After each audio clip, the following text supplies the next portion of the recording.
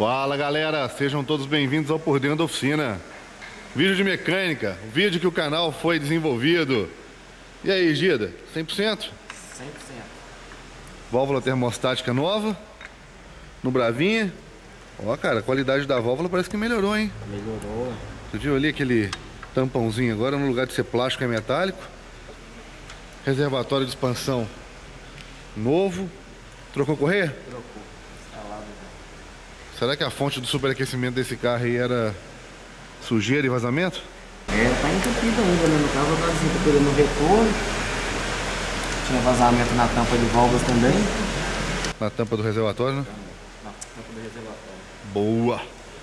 BMW continua aí aguardando peça, né? São, esses carros têm uma dificuldade para conseguir peça, mas parece que o dono já conseguiu as peças que estavam faltando. Aqui um, um Citroën C4 Palas. Esse é o Palas? Não, esse é só o C4. É o hatch. E ele recebeu também embreagem nova. Tá fazendo uma, dando uma revisadinha básica em outros pontos. E aqui o Gabriel tá trabalhando aqui na parte de arrefecimento, de temperatura. O, o multímetro tá por aí, o, o, Gabriel? Fazer aquele teste agora para ver como é que ficou agora a queda de tensão, tanto no positivo quanto no, no negativo. Esse carro recebeu reforço no negativo, colocando um cabo extra, e também no positivo, recebendo um cabo extra saindo direto do alternador para a bateria.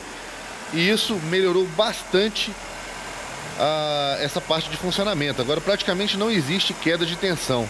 Para quem assistiu o vídeo que eu fiz antes, né, o outro por dentro da oficina, deu para perceber aí que a diferença estava muito grande, né? Olha só, voltímetro aqui na mão. Põe aqui na escala volts automática, um multímetro automotivo.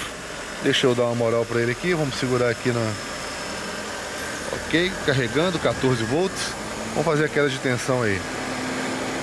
Queda de tensão no negativo. Com o eletroventilador acionado, 18.4. Queda de tensão no positivo agora. Direto do borne positivo, a saída do alternador. Queda de tensão de 18 também. Perfeito. Agora ficou muito legal. E olha só como é que o sistema de arrefecimento já sujou, Gabriel. Já tá precisando de mais um enxágue aí. É isso aí. É isso aí, turma. Olha só, já chegaram agora na parte da noite, né? Praticamente agora são quase 18 horas, tá escuro.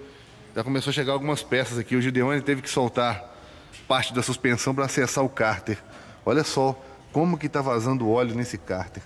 Muito óleo mesmo escorrendo do cárter. Aqui, obviamente, Estamos drenando o lubrificante. E aqui o detalhe para a junta nova, né? Olha só, alemã,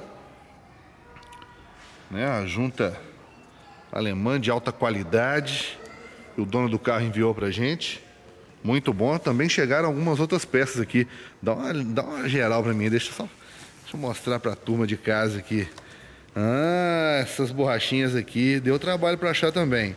As guarnições ali que vão nos parafusos da tampa de válvulas, peças da suspensão. Bom demais. Agora vai ficar mais fácil de dar sequência na revisão desse BM.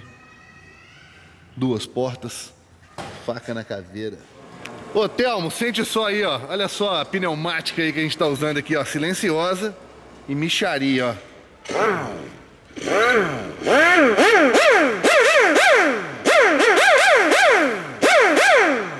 Aí, canhãozinho. Tabajara, made in China, mas ó. Bruta.